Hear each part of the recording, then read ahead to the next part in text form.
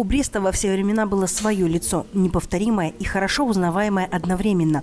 Наверное, поэтому фотограф Виктор Байковский в основу своего творчества положил документальный взгляд на город, в котором он родился. Брест – перспектива времени. Под таким названием 18 работ Виктора выставлены в Брестской городской центральной библиотеке имени Пушкина в рамках культурного проекта «Арт-пространство библиотеки».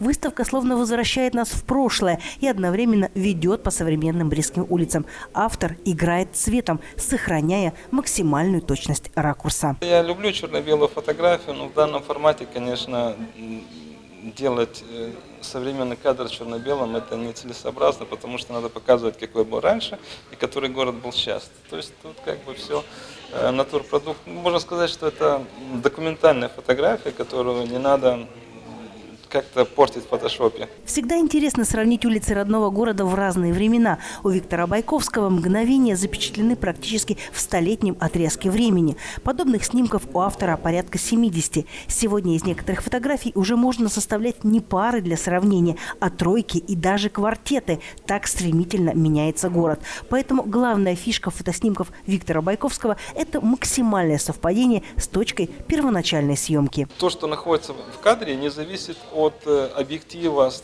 или формата камеры, на которой снимали раньше, а зависит именно только э, ракурс от точки съемки, где снимал фотограф. Он, в него может быть влезть немножко больше, немножко меньше. Это зависит от фокусного расстояния. А вот именно перспектива все вот, это именно э, того места, где стоял фотограф. И мне стало интересно найти это место, где стоял фотограф, и повторить этот кадр с большой точностью, чтобы это было. Своими фотографиями Виктор Байковский открывает новый взгляд на старые снимки, а точнее на изменившиеся или вовсе утерянные уголки Бреста. Он дает зрителю возможность размышлять, сравнивать и вспоминать. Не зря великий русский классик Пушкин считал уважение к минувшему – вот черта, отличающая образованность от дикости. Уже невозможно снять ту советскую, где сейчас стоит гостиный двор или это.